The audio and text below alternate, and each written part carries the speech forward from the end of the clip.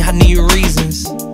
Uh, I got plex in the mail peak season. Shout out to my UPS workers, making sure I receive it. You could do it too, believe it. I've been a throw up the